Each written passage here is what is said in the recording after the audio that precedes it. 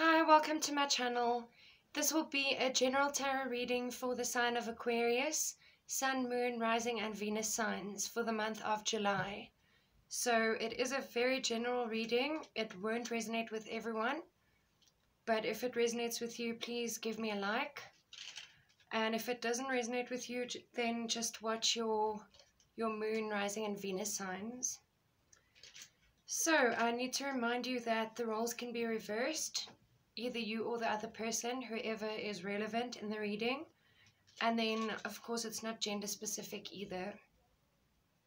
Okay, let's see what's coming up for Aquarius for July 2021. We have Ten of Pentacles reversed. I think, if I'm not mistaken, you may have had that card for last month's reading. Nine of Pentacles. Here we're starting with the Nine of Pentacles again. I had that card in almost every reading I did yesterday. All the other signs. I did the Earth and Water signs. And I had to redo Cancer because uh, there was a problem with my thumbnail. So I had to just re-upload it. Which was a little bit silly. But anyway. We have nine, another nine of wands reversed. Okay, be sure to check out the spiritual meaning of the number 9, Aquarius, because it's relevant to this reading.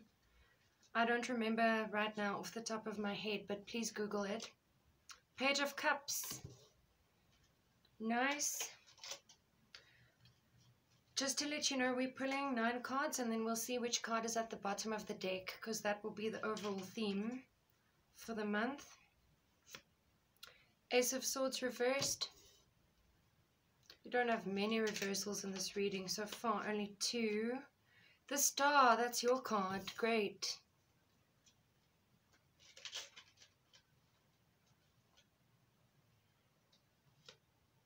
The Hermit reversed. It's also quite positive, I, I would say.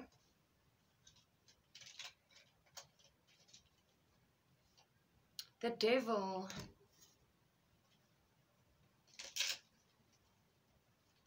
Some of you may be dealing with a person who possibly has an addiction.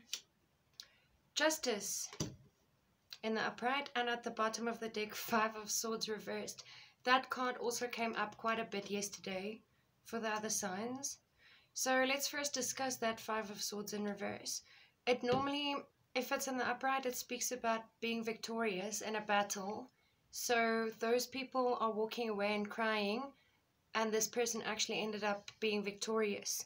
So it is in the reverse. So I don't know if there's some battle going on around you where you feel like you're just fighting a losing battle all the time. For some of you, it, it is related to a person close to you who has an addiction of some kind. Again, if this doesn't resonate with you, then perhaps the reading just wasn't meant for you. But this is what I'm seeing. I'm seeing you feeling like some situation in your life is just going nowhere. It's a losing battle. And actually, with the Justice card um, at the end, right next to the Devil card, it's actually telling me that there could be a legal situation here that you just feel like you're not getting out of. You're staying stuck in it.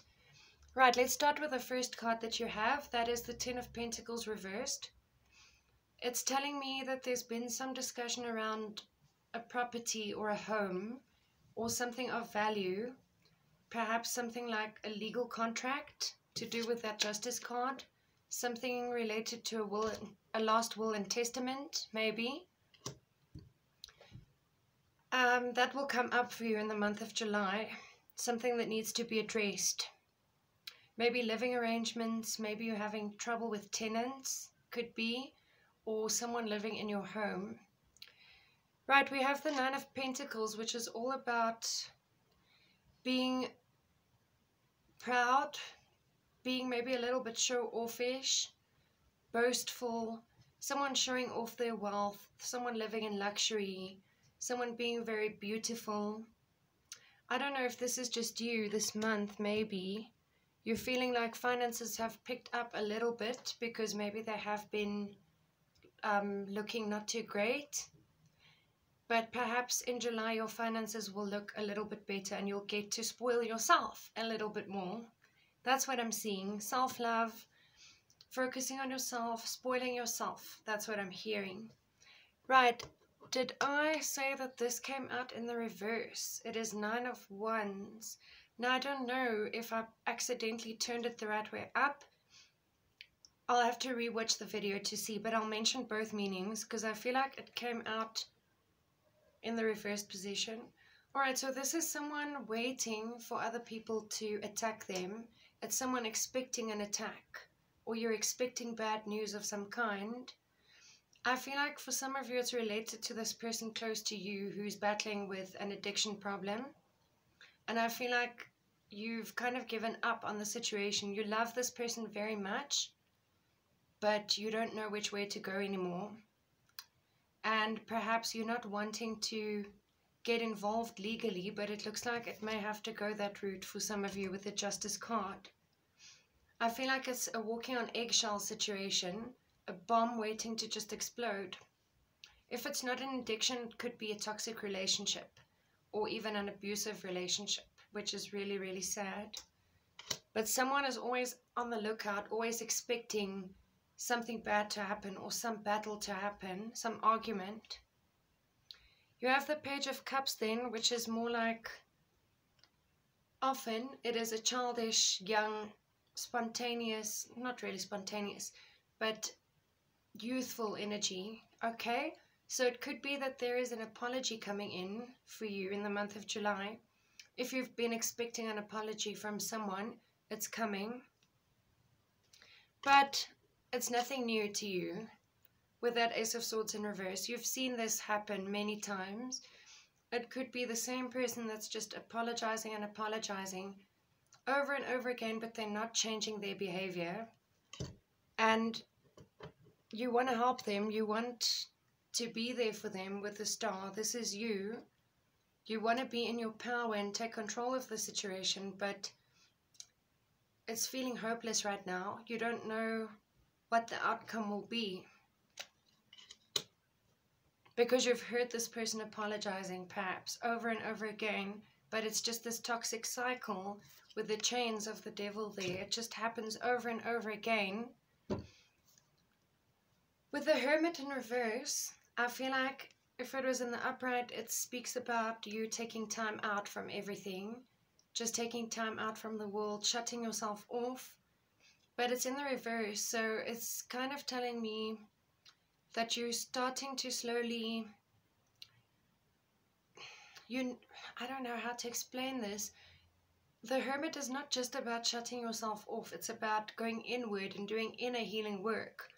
But I find you looking a lot at the other person and not really going within. I don't know if this is a warning for you to just try to not always blame the other person, not always look for fault with the other person, and go within. And if the situation is so toxic or so bad or so negative, then by all means just shut yourself off for a short time. I mean, it's easier said than done because we're all basically shut off from the world right now anyway with what's been going on and even more so the people that are in isolation because of having tested positive but i'm really hoping that this is a message to you guys that if someone is such a negative influence in your life just do your own thing don't focus so much on the impact on you Rather focus on yourself and try and escape mentally if you can't escape physically. That's what I always say to people. If you find yourself in a really bad situation that you can't change, then just go with the flow. And if you can't change your situation, at least change your mindset. Change your outlook and the way you see things and perceive things, your perception. It is so, so important. So, whether this applies to a relationship or a work situation or a home situation. I feel like it's all intermingled here. I feel like could be a romantic connection and you're also living with the person and it's more negative than positive. Again, it may not resonate with everyone, but if it is the case with you, just try and cut that negativity out of your life as much as you can. Even if you can't like divorce the person right now or tell them to just get up and go, at least try and do your own thing and focus on yourself. As cliche as that sounds, I said in one of my um, readings yesterday that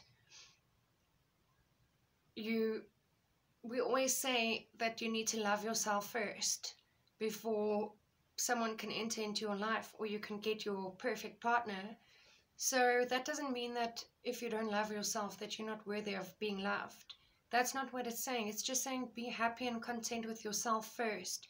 Because if you're not happy with yourself, how can you expect someone else to be, right? So that is basically the message I have for you guys. I hope it resonated with some of you. Thanks very much for watching. Stay safe. Bye.